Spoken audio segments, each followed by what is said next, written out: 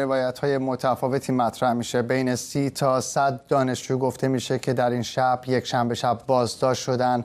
در مروری بر آنچه که یک شنبه گذشت تصاویر و روایت ها از خشونت گسترده نیروی امنیتی و لباس شخصی ها حکایت داره. هم با تفنگ پینتبال هم با گلولای ساچمه به دانشگاهیان شلیک شده. در این بین گفته میشه که چند تن از اساتید دانشگاه هم در بین زخمی شدگان هستند. دانشگاه همونجور که اشاره کردید گفته شده بود که در ساعتی که در ساعت پیش پیش در واقع کامل در محاصره نیروی امنیتی قرار داشته. گفته شد که تعداد زیادی و تصاویری منتشر شده که نشون می‌داد که تعداد زیادی نیرو در حیات دانشگاه حضور داشتند بسیاری در گزارش هاشون از شنیده شدن صدای گلوله و تیراندازی خبر دادن.